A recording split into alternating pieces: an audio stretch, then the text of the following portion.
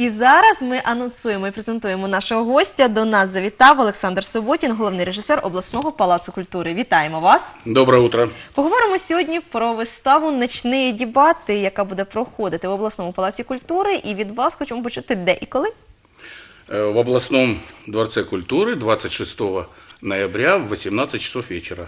В чому особливість цієї вистави, актуальність і чим вона буде цікава для миколаївського глядача? Ну, в двух словах, если рассказать э, о драматурге, который написал эту пьесу. Пьеса в оригинале называется «Он, она, окно, покойник». Это Рэй Куни. Это известнейший э, английский драматург, он же актер. Э, его пьесы ставят все театры мира. Э, Кстати, на русский язык единственный переводчик его пьес Михаил Мишин. Я думаю, это известное имя э, сатирика. Мы взяли пьесу, э, рискуя очень многим. Ну, во-первых, маститый драматург. Я же говорю, что его пьесы ставят все театры мира. Маститый драматург. Нам было немножко страшно. Почему? Потому что у нас все-таки театр, по сути, аматорский. Называется он «Камеди-театр». Что сказать? Тяжело было работать. Тяжело было работать, потому что э, авторитет э, драматурга давил, авторитет тех театров, которые ставили э, эту пьесу, тоже давил. Но мне кажется, что мы справились. Мы показали премьеру 28 э, июня.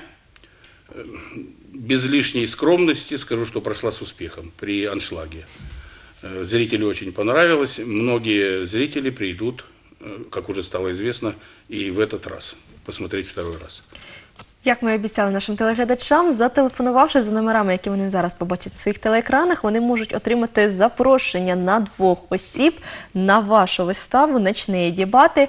Розкажіть нам про вашу творчу групу, тому що, як ми розуміємо, комедійний театр. Я думаю, що багато у вас комедійних ситуацій виникало, мабуть, на репетиціях. Ну, комедийных ситуаций, конечно, возникает, э, комедийные ситуации возникают.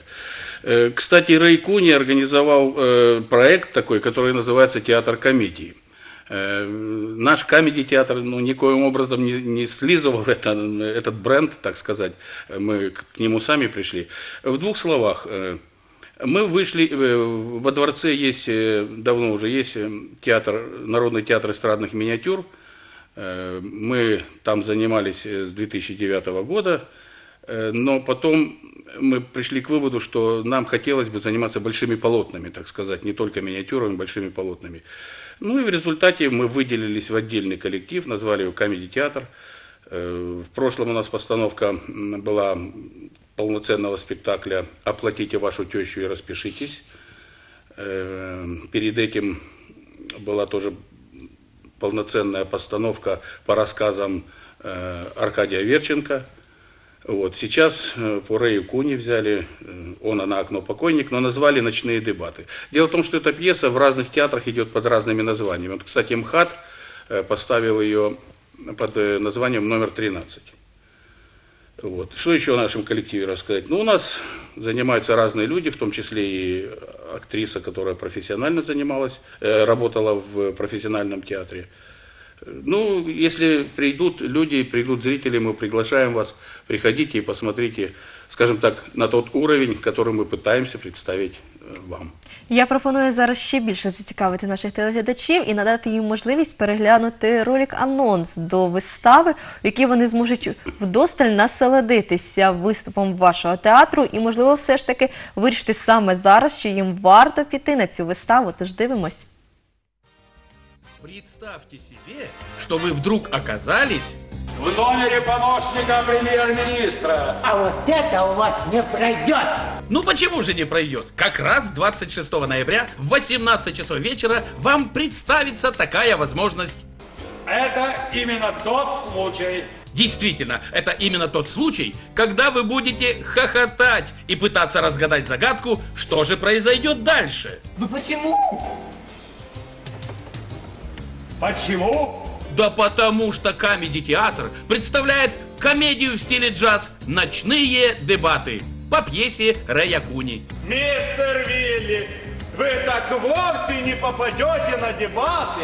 А у вас, у вас будет такая возможность именно 26 ноября в 18 часов вечера. Так что приходите. Пойдем. Пойдем. Через окно. Через окно. Для романтики.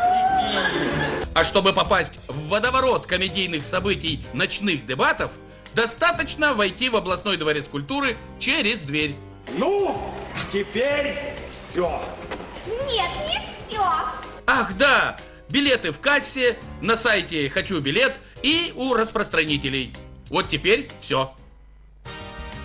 А для того, щоб отримати квиточок запрошення на цю виставу, вам варто просто зателефонувати за номерами, які ви бачите на своїх телеекранах 0512 47 74 72. Чекаємо на ваш дзвіночок і повертаємось до нашого ранкового гостя. Дійсно, дивлячись вже з першої хвилинки, розумію, що цікава вистава, цікава подача саме цього матеріалу. Бачимо, що у вас е, різновікові актори, дивлячись і на зрілий вік, і є трошки і зовсім молоді актори. Да, э, в этом небольшая прелесть э, м, жанра комедии.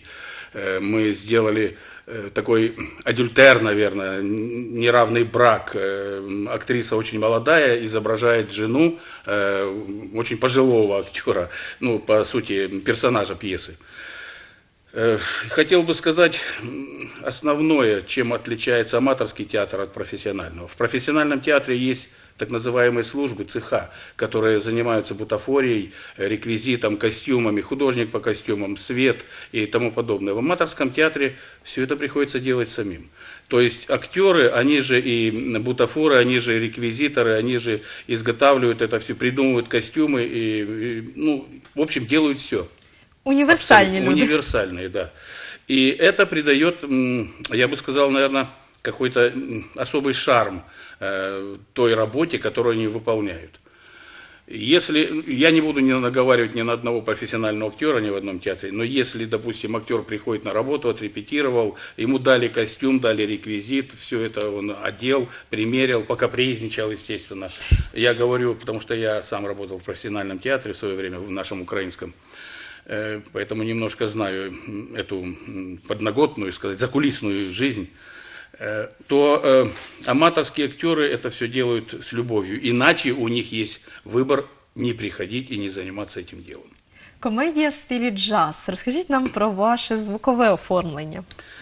Э, Что такое джаз? Джаз, прежде, прежде всего, это музыка импровизации. Да? Э, Вот мы и взяли джазовые мелодии для оформления, э, и с таким отсылом на то, что э, наша пьеса, вернее, наш спектакль из пьесы превратился в, некоторую импровизацию тоже. Мы замахнулись и поменяли некоторые вещи, даже что-то свое добавили, безусловно, некоторые вещи в пьесу, которая стала спектаклем уже, не похожим на то, что написал Рэй Куни. В общем, да, но в деталях и в крупных деталях уже нет. Я думаю, що варто завітати гості до вашого театру для того, щоб переглянути цю виставу. І нагадаємо нашим телеглядачам, о котрій годині, за якою адресою вони варто їм варто прийти. Э, Дорогие друзья, приглашаем вас, э, искренне приглашаем на наш спектакль 26 ноября в 18 часов вечера. Это воскресенье. День обещается быть хорошим, а мы обещаем вам хороший вечер. Ждем вас.